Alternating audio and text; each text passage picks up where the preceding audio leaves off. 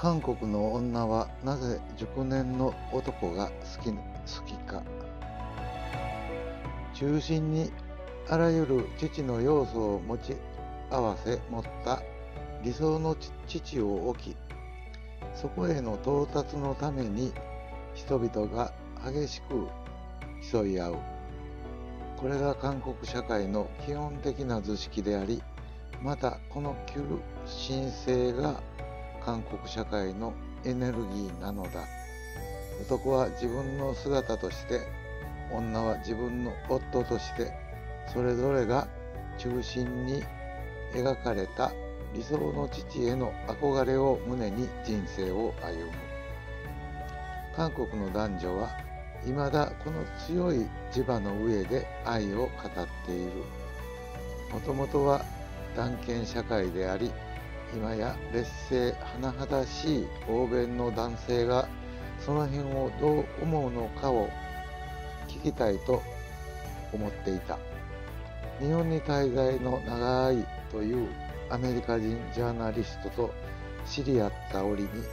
なんとなくそんな話題になった。私が聞く前に彼の方からこんなことを聞いてきた。あなたは韓国では年寄りの男が好きな女が多いと言うけれどそれは嘘で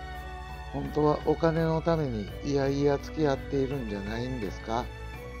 だってセックスだって満足できないでしょうし。なるほど。リッチな生活がしたいために我慢してお年寄りと付き合う若い女。何のことはない。アメリカ人がそうだから韓国人の本音もそうだろうと言っているに過ぎない。しかしことはそれほど単純ではない。韓国の女たちが求めるのは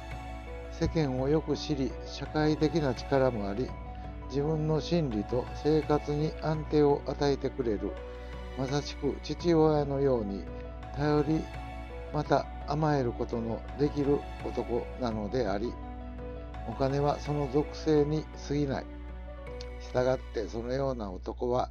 現実的には年齢がだいぶ上になるということである。また韓国ではお年寄りを尊敬するからその点でも特別な抵抗感はない。セックスについて言えば一般的にはお年寄りとの付き合いでは直接的な性関係が少なくて済むことが韓国の女たちにはとても気楽なのである。韓国の女の性意識は日本人やアメリカ人が想像する以上に女がセックスを好むことは汚いことだという男社会の道徳観念に強く規制されている。女同士で性について明けっ広げに話すことは多いが、私が個人的に知る限りではホステスにしろ家庭の奥さんにしろ若い学生にしろセックスに快楽を感じるという女は極めて少ない。